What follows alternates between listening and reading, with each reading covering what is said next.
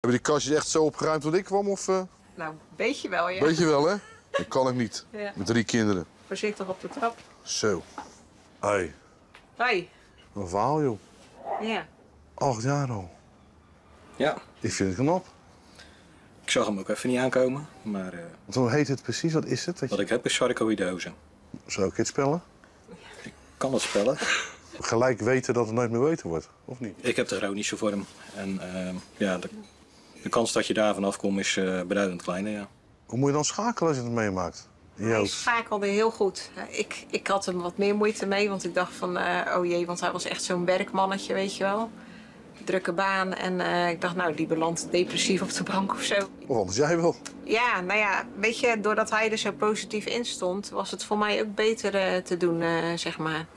Dus want hij had zoiets van, nou ja, dit is het en eh hier moet het mee doen en daar gaan we wat van maken. Dus dan, Maar in de zorg dan nu?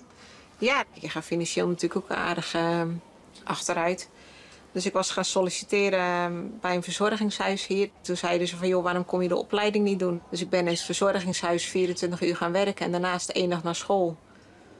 Maar ja, toen het eerste jaar ehm, overleden mijn ouders ook nog allebei. En dat maakt het gewoon eh, heel heftig allemaal. Ja. Ja. Eerst mijn moeder. eh, Dat vind ik moeilijk om over te praten. Ja, dat begrijp ik. ik ben er stil van. En ehm, ja, we wisten dat ze ziek was en acht, jaar, acht weken daarna overleed ze.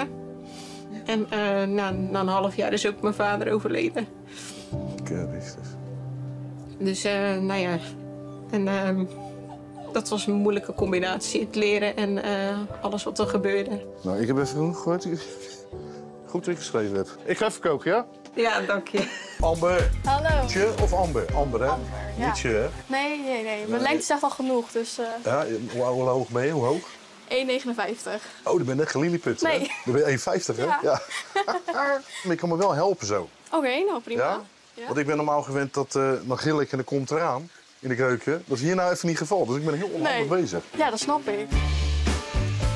Heb je al verkering? Nee, Heel goed, niet doen, hè? nee, zeker niet. Allemaal viezerik. Ja, ik weet het. Ja. Een beetje olie op die achterkant van die plaat gooien. En dan gooi je de halve zak, de inhoud van deze halve zak, gooi je daarop. En dan hoor je net of je aan het roerbakken bent in de pan.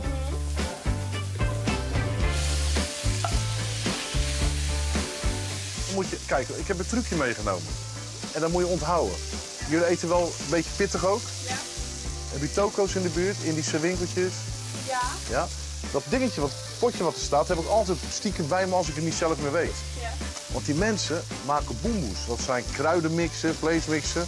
En die kan je dan door de rijst gooien. En die hebben in één keer heel veel smaak. En dat wordt niet zwart, hè? Je kan het niet zien. Ik ben kleurenblind. Makkelijk zo.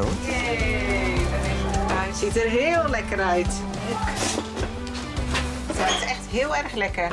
Nou, eet smakelijk, jongens. Eet smakelijk. En wat heb jij gemaakt? Nou, ik heb vooral dingen bij elkaar gegooid en omge... Het is echt heerlijk. Oké.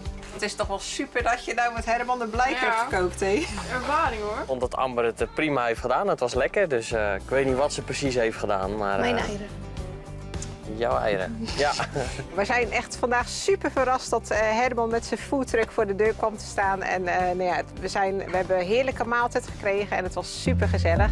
Meer zien? Ga naar kijk.nl. Kijk opent je ogen.